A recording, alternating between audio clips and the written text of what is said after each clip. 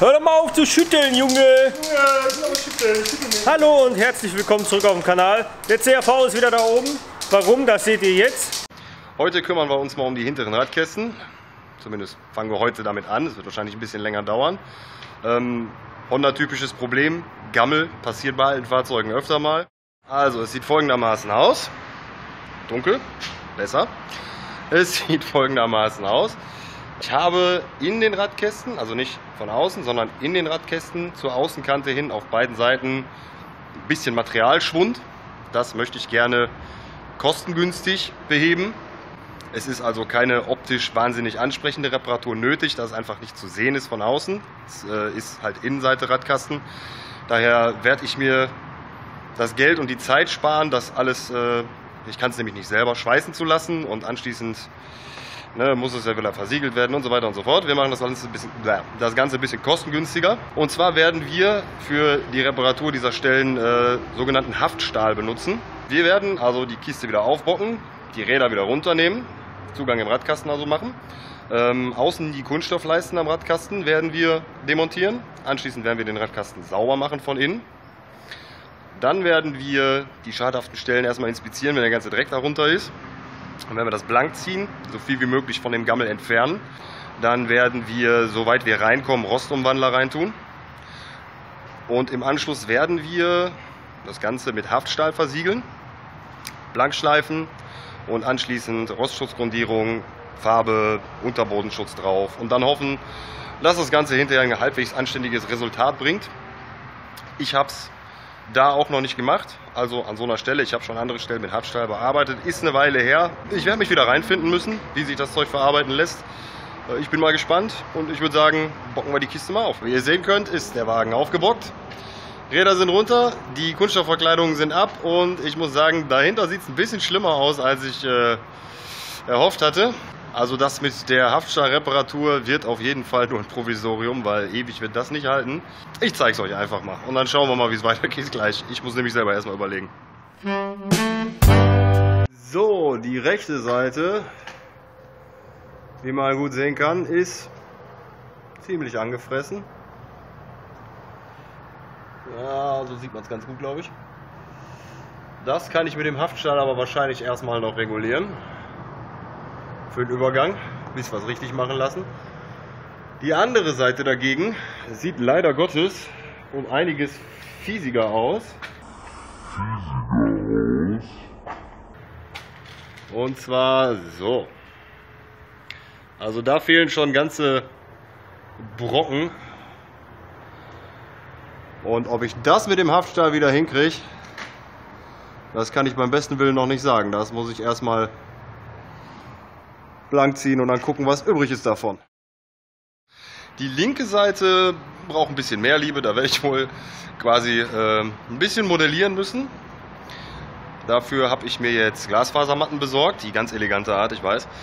Und äh, die werde ich mit dem Haftstahl tränken, das soll funktionieren, sagt zumindest die Anleitung vom Haftstahl. Und dann werde ich quasi mit den Haftstahl getränkten Glasfasermatten das fehlende Material ähm, modellieren, wie auch immer. Und das sollte dann in etwa einem Blech ähnlich kommen. Ich denke, das könnte funktionieren. Ich habe jetzt erstmal das Ganze, was noch übrig war, mit Rostumwandler eingesprüht. Ich habe guten Rostumwandler gefunden aus der Dose zum Sprühen. Damit komme ich auch in die Hohlräume ganz gut rein. Äh, der Vorteil bei diesem Zeug ist, das ist überlackierbar. Das heißt, ich brauche es nicht hinterher wieder rauswaschen, weil der andere Rostumwandler, den ich noch hatte, der muss hinterher mit Wasser ausgewaschen werden und der hat eine wesentlich längere Wirkzeit. Ob das jetzt alles so funktioniert, wie ich mir das jetzt vorstelle, weiß ich auch noch nicht. Aber wir haben ja schon gesehen, das ist ja alles irgendwie Learning by Doing so ein bisschen. Und ja, ich zeige euch mal, wie die Radkästen jetzt aussehen. Das ist die linke Seite. Also das lose Zeug ist raus. Den Rest habe ich mit Rostumwandler eingesprüht. Die ganzen Hohlräume, alle Kanten und wo auch immer man dahin reinkommt, habe ich vollgesprüht. Und das hier werde ich alles nachher mit dem Haftstahl verschließen, innen wie außen. Und die andere Seite, die sieht etwas, von außen haben wir sie ja schon gesehen, das sah nicht besonders gut aus. Das habe ich jetzt auch soweit, das ganze lose Zeug runtergeschliffen, bis hier vorne. Hier oben müssen wir dann modellieren mit der Glasfasermatte und dem Haftstahl, was ich gerade erzählt habe.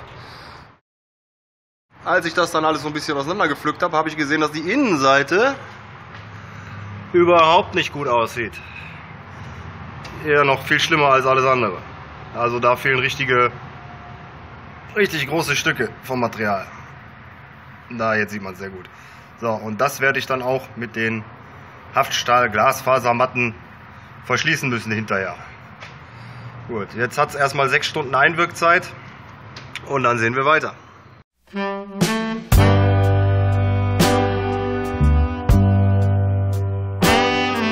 willkommen zurück. Für euch ist es wahrscheinlich auch dasselbe Video. Für mich ist es mittlerweile zwei Tage später. Der CRV ist noch immer auf der Bühne. Die rechte Seite habe ich soweit fertig gespachtelt mit dem Haftstahl. Das ist auch sehr gut ausgehärtet. Das werde ich dann heute blank ziehen quasi. Schön glatt schleifen alles, vorbereiten fürs Lackieren. Und äh, ich denke, die rechte Seite, die kriegen wir heute fertig auf jeden Fall. Die linke Seite muss ich, wie gesagt, noch modellieren. Und ja, mal schauen, wie weit wir heute kommen. So, hier mal ein kleiner Zwischenstand von der rechten Seite. Alles ist verfüllt, ich habe es vorgeschliffen jetzt.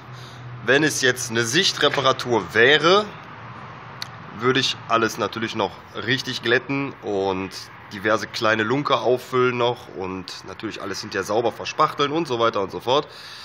Äh, ist hier nicht nötig, ist A keine Sichtseite und B auch nur temporär diese Reparatur. Und äh, mittlerweile muss ich sagen, klingt das schon wieder viel weniger nach Blätterteig. Also das Zeug ist sehr gut ausgehärtet.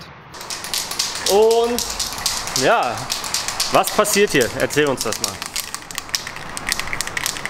Erzähl uns das mal. Brauche ich nicht, habe ich das schon aufgenommen. Kannst du reinschneiden. Und jetzt schön drüber rotzen, ohne Atemschutz. Natürlich, wie sich das gehört für eine absolut professionelle Werkstatt. Ach so, das ist eine Werkstatt, okay. Nennen wir es mal, nennen wir es mal so. Ist kein Designerhandwerk. Ja, ah, der Andreas filmt auch, diesmal mit einer richtigen Kamera. Ja. Also wenn die Bildqualität zwischendurch wechselt, habt ihr das Andreas zu verdanken. Deswegen darfst du jetzt alles nochmal erzählen. Ach, ich denke nicht dran. So, und äh, sobald scharf stellen. Ist, hat man einmal Andreas gefilmt, ist die Kamera direkt kaputt. So. Also sobald das hier dann ausgehärtet ist, der Lack, dann machen wir von innen noch unter Bodenschutz rein und dann kommt die Plastik Plastikverkleidung da wieder drauf und dann ist die rechte Seite erledigt. Oh, blankes Blech. Naja. So blank es wurde. Wir werden jetzt in dem Bereich schon mal Grundierung auftragen, weil ich ungeduldig bin. Ich könnte es ja alles zusammen machen, aber ich bin ungeduldig. Schön da rein. Da kümmern wir uns später drum. Erstmal mache ich den Bereich von hier hier runter jetzt soweit fertig und das Teilstück machen wir dann etwas später. Was, was haben Sie da Schönes, junger Mann? Wir haben hier eine grobe Schablone, die wir gerade mal improvisiert haben, um hinterher die entsprechenden Teile der Glasfasermatten zuschneiden zu können. Weil wir müssen die erst mit Haftstahl tränken und dann aufbringen und wenn die dann nicht passen, ist das ein bisschen dusselig. Also schneiden wir die grob vorher vor und werden dann im Anschluss die Matten quasi hier Warte, oben, warte, warte. Ich muss gucken, dass ich irgendwie einmal. Ja, Alter, ey. hier oben einbringen. Warte, warte, warte, warte, warte, warte. So in etwa sitzt das Zeug dann Äh, ja. und dann wird die Kante hier umgeschlagen. Und da werden wir hier aus? mindestens zwei Lagen von reinsetzen. ja. Und dann sollte das Ganze schon etwas ansehnlicher werden. Und hier von außen werden wir dann noch eine separate Lage aufsetzen, die wir dann wieder nach innen rum einschlagen. Äh, inklusive dem Stück, was hier fehlt, was wir dann noch quasi etwas weiter runter anmodellieren werden hier. Und dann schauen wir mal, wie das Ganze funktioniert.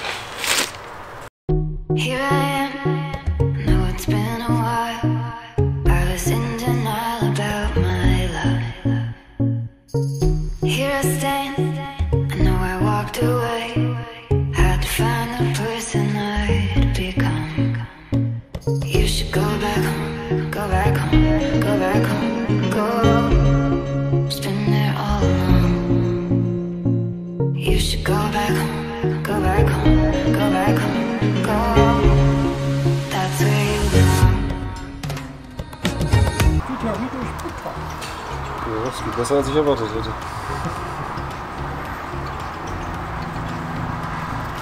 Keine Das sind keine Gewebematten, das sind äh, Fasermatten. Bei Gewebematten kommst du nicht so leicht durch, weil die Fasern richtig da miteinander verwoben sind. Ja, klar. Kennst ja von Carbonfaser, so sieht das bei Glasfaser normalerweise auch aus. Das hier ist quasi die Low-Budget-Version. Die formlich halbwegs gleich sind, jawohl. Wunderbar, zwei Lagen, machen wir drei. Viel hilft viel, ne? Ich weiß noch nicht, ob ich genug Haftstall habe für drei Lagen. Ich muss von außen auch noch eine setzen.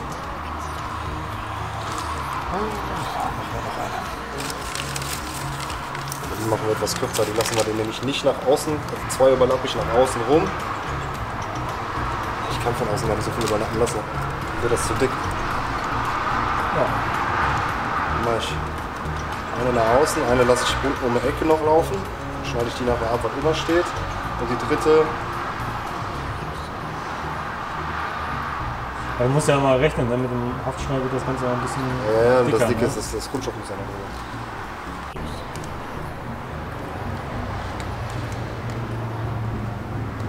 Hier.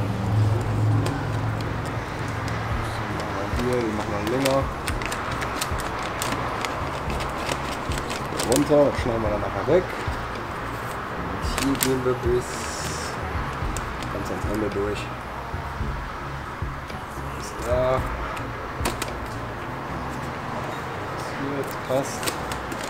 Ein bisschen schieben. Den mache ich etwa bis hier.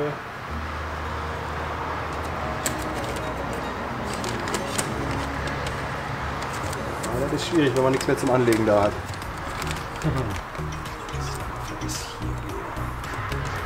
Wir jetzt eine schöne, schönen Bogen hier rüber und dann sollte das klappen. Vielleicht, vielleicht auch nicht. Who knows?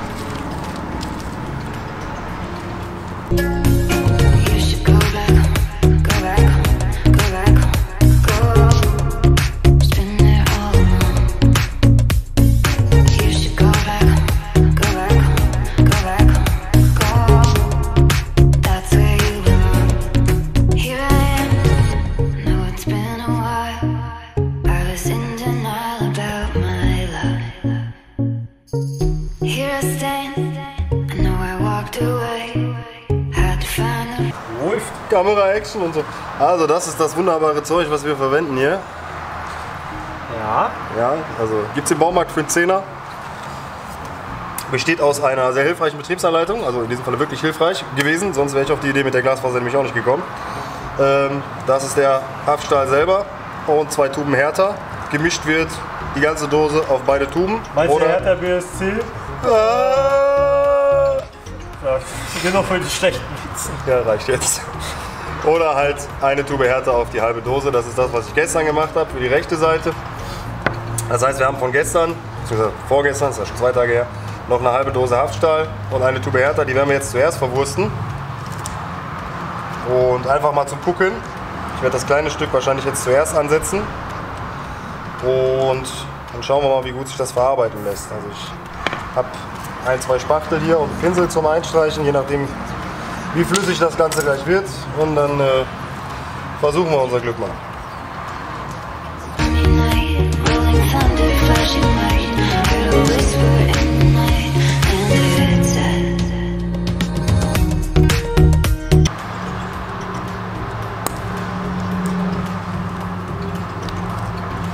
Schön die rotbraune Kackwurst da reingedrückt. Habe ich jetzt nicht gesagt. Verarbeitungszeit von dem Zeug beträgt laut Anleitung 25 bis 30 Minuten. Das heißt, wir haben nicht ganz so viel Zeit zum Rumexperimentieren. Und wenn das jetzt nicht klappt, heute ist Sonntag, Nachschub holen wird heute nichts. Das wäre dann erst morgen der Fall.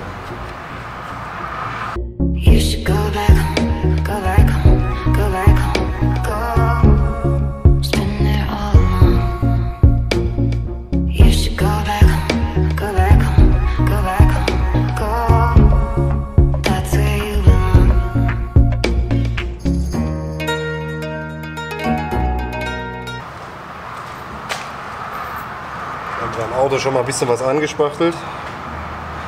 Jetzt schauen wir mal, wie gut das Zeug sich hier in das in die Glasfaser verarbeiten lässt.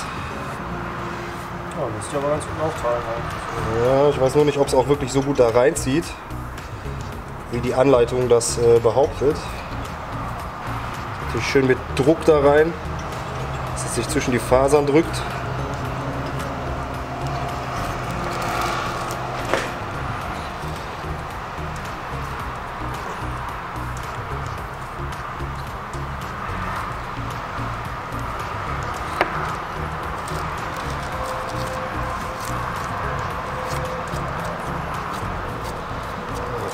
Viel ne?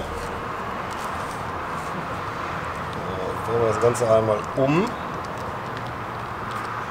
Und hoffen, dass wir es hinterher auch andersrum von der Folie wieder abkriegen. Es scheint aber sehr gut reingezogen zu sein.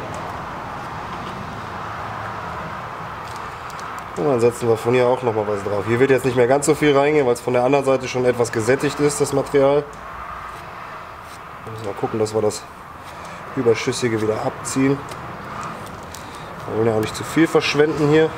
Gleich noch mal benutzen, wenn es bis dahin nicht durchgehärtet ist schon. Könnt ihr jetzt natürlich auch den etwas breiteren Spachtel nehmen, den ich hier noch liegen habe. Dann sieht das Ganze schon so aus. So, Stunde der Wahrheit. Es hat sich etwas durchgedrückt. Aber ja, so viel ist es nicht. Also ist hier noch gut was drin. Dann schauen wir doch mal. Auch dahin kommt. Moment, ich sehe rüber noch. So, da wollte ich hin. Wo das denn hin soll. Das ist jetzt hier um die Kante.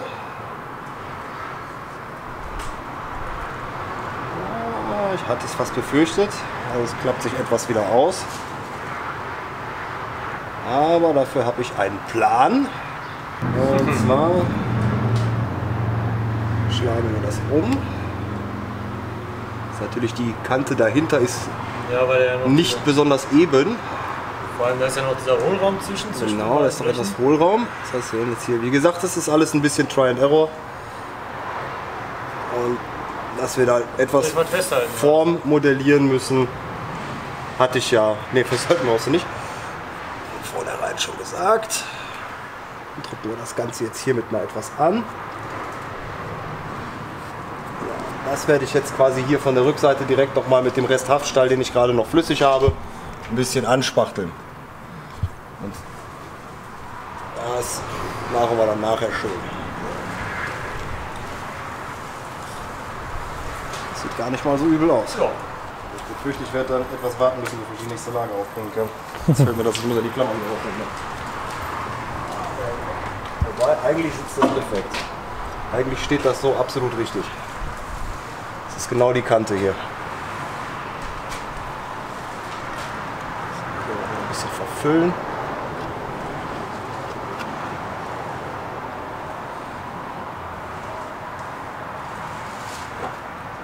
Kleinen Eiswürfel.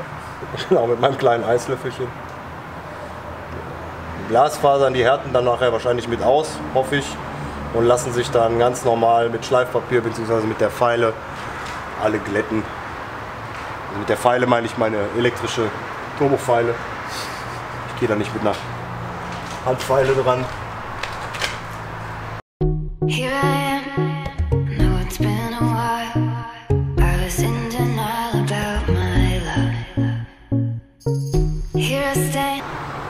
bitte aufhören, mein Gesicht zu filmen, danke. Das ist äußerst Das, unfotogen. das war ja als Thumbnail, weißt du? Bestimmt nicht. Go back home. Go back home.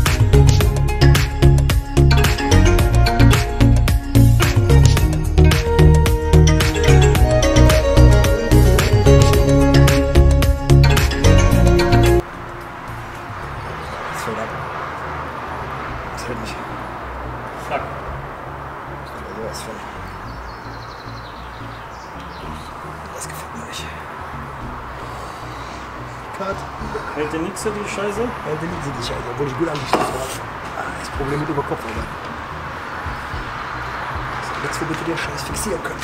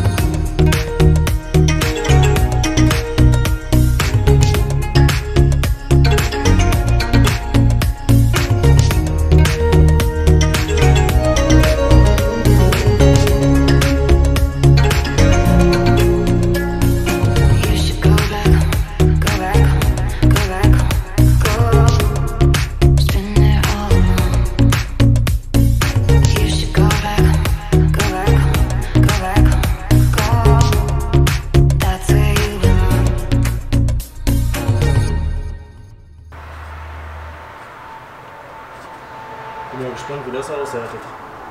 Frag mich mal. Da frage ich dich mal. ey, Bin ich auch gespannt. Ich hab keine Ahnung. Alles ist ja sehr verrückt hier. Jetzt haben wir hier schon mal eine Grundlage, wo ich dann morgen auch meine Ladung Haftstahl aufbringen kann, bevor ich die nächste Lage drauf schmier.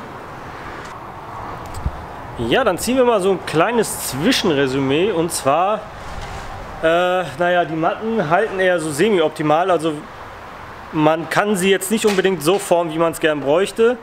Ähm, nichtsdestotrotz sind die eigentlich ganz gut angespachtelt jetzt. Allerdings wird sie erst äh, morgen zeigen, wie das Ganze ausgehärtet ist. Da wird das Ganze dann ohne mich weitergehen. Das heißt, da wird er wieder der gute Basti Qualität mit dem Handyfilm. Genau, wieder mit der Kartoffelfilm. Ja, also ihr werdet äh, trotzdem weiter die Dokumentation sehen. Wenn der Andreas weg ist, dann werden die Kommentare auch ein bisschen qualifizierter. Genau. Und was ist dein Zwischenfazit mit deinem wunderschönen Matten? Etwas dünnere Matten hätten sich wahrscheinlich etwas besser anformen lassen. Ich habe jetzt die etwas, also die mitteldicken genommen, die ich im Baumarkt gefunden habe. Einfach aufgrund von der Überlegung, dass etwas dickeres Material im Endeffekt etwas mehr Festigkeit bringt als quasi Blechersatz, was wir ja hier mehr oder weniger versuchen. Ähm, Im Nachhinein würde ich sagen, dünneres Material, mehr Lagen wäre wahrscheinlich die sinnvollere Variante gewesen. Und dann in mehreren Schritten die Und Lagen mehr von deinem. Stahl, Definitiv. Pumpszeug. Äh, zwei Packungen sind bis jetzt durchgegangen. Ich werde wahrscheinlich nochmal zwei brauchen. Es ist leider nicht so ergiebig. Ähm, gerade wenn man es in die Glasfasermatten drückt, weil es halt relativ große Fläche ist hier, äh, ist dann doch etwas mehr erforderlich, als ich anfänglich erhofft hatte. Also werde ich morgen nochmal in den Baumarkt fahren und nochmal Nachschub holen. Ja. Und dann geht's weiter. Trinken Sie da etwa ein Bier? Ja, und in diesem Sinne vielen Dank fürs Zuschauen. Auch wenn das Video jetzt mal wieder bei fast 30 Minuten liegt. Ihr wisst ja, die letzten paar Videos, also die vor dem CRV-Videos, äh, waren ein bisschen kürzer, also deutlich kürzer. Von daher sei es mir hoffentlich entschuldigt. Also ich wollte eigentlich vorher schon einen Cut machen. Allerdings gab es eigentlich keine logische Stelle für einen Cut. Aufgrund dessen, dass ich im letzten Clip noch das Ganze abmoderiert habe, weil Basti am folgenden Tag dann alleine weitergefilmt hat. Das werdet ihr dann im zweiten Teil sehen, der ist auch deutlich kürzer. Und ja, das wär's dann. Ähm, vielen Dank fürs Zuschauen an die Hardcore-Fans. Danke für diese 30 Minuten, die ihr euch gegeben habt. Ja, äh, bedeutet mir sehr, sehr viel. Und äh, dann würde ich sagen, bis zum nächsten Mal. Tschüss.